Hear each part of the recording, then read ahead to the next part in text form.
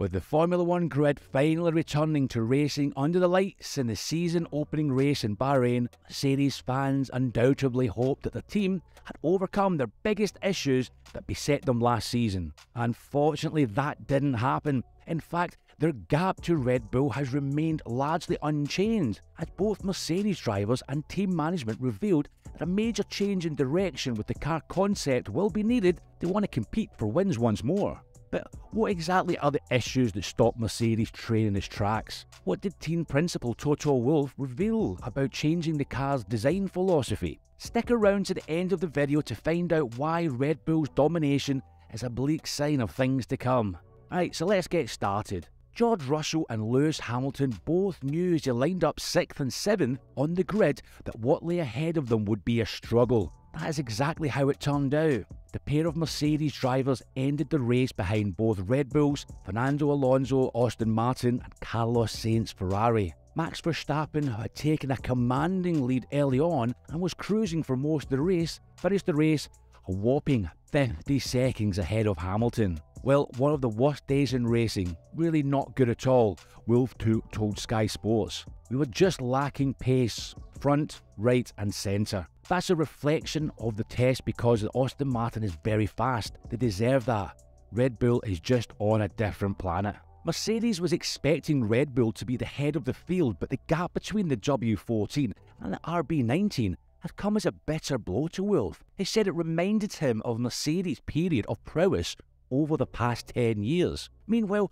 Hamilton's frustration was evident after a race in which he said he was miles away from a podium on pure performance, and he was lucky to benefit from Charles Leclerc's retirement, or he'd finish sixth. When asked if he was concerned about the lack of a performance increase between 2022 and 2023, Hamilton responded, Concerned wouldn't be the word. I don't really want to say too much. We've got to keep working. We know we're not where we need to be, and we know this isn't the right car. It's a difficult one.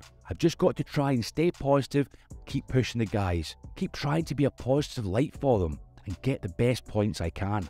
Indeed, whereas the German manufacturer won the Brazilian Grand Prix late in the season last year after brushing itself off and digging deep with the W13, the current struggles has elicited a completely different reaction. Rather than pointing to a good baseline for Mercedes, it's moved forward from an annual F1 development war has instead thrown up the white flag. Within minutes of the end of the qualifying, before Russell and Hamilton had met with the engineers, all the team could demonstrate is long run speed on Sunday. Toto Wolff had already declared that title hopes were all but over and that a new car concept was needed. I don't think this package is going to be competitive eventually, he said. We gave it our best shot all over the winter, and now we just need to all regroup and sit down with the engineers who are totally not dogmatic about anything. There are no holy cows, and we need to decide what is the development direction that we want to pursue in order to become competitive and win races. Since different circuits can significantly alter the competitive order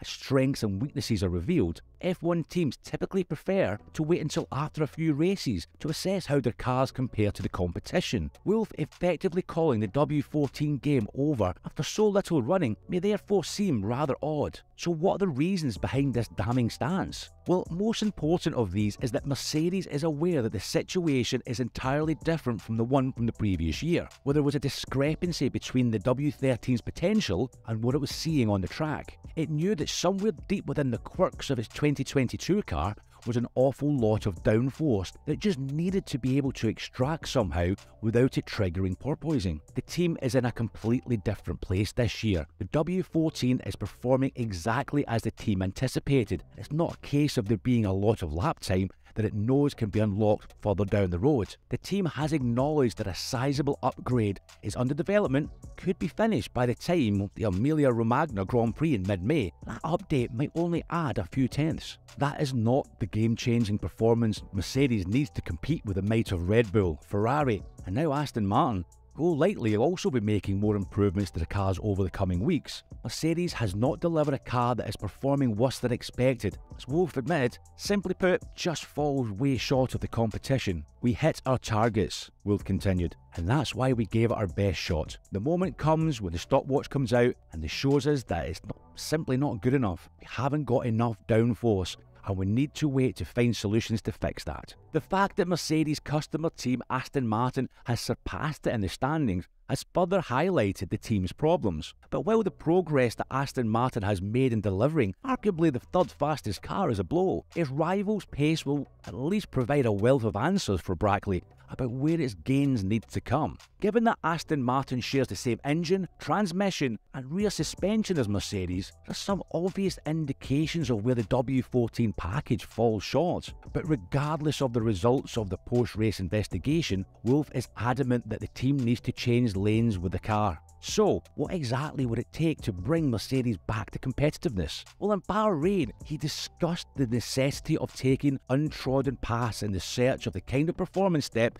it needs to get back to the front. That appears to almost certainly involve tearing up the concept of the current Mercedes, goes beyond just its zero pod design and includes its floor and diffuser. There is little doubt that Mercedes will also have to swallow its pride and take a critical look at Red Bull's downwash solution, given that the majority of the grid has changed tack to pursue that strategy. The biggest decision Mercedes will have to make is whether to completely stop working on the current car, begin on its new concept, or to work on both concepts simultaneously. Such a decision is especially tricky in the cost cap era, as the team is unlikely to be able to afford the kind of response that could unleash a completely revamped B spec this season.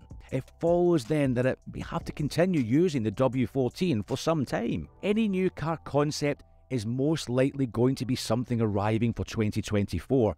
The question is how soon does Mercedes switch off work on the current car? According to sources, the team is open to the possibility of abandoning the Imola upgrade work and starting work on a new concept right away. There could be some short term anguish, but overall the benefits are clear. Wolff suggest it may be too early to commit to such a path yet, but he is aware that time is ticking. Definitely every day counts, and you are losing these days, he said. It's going to be difficult to catch up, therefore, we need to take the right, precise decisions now in order to set the sails in the right direction. With Red Bull so far ahead and teams like Mercedes not holding a handle to them, 2023 could be a much more dull affair than expected. If things continue, it won't be long before the excitement of a new season and the novelty of an Aston Martin rise wears off, leaving F1 with a problem it has encountered before a dominant team vanishing into the distance and leaving everyone else fighting for scraps. It happened with Mercedes during the turbo hybrid era, and it appears that it's Christian Horner's turn to rack up the trophies. The difference between those earlier dominance eras and the present is that F1 is currently experiencing its biggest ever popularity boom, and the possibility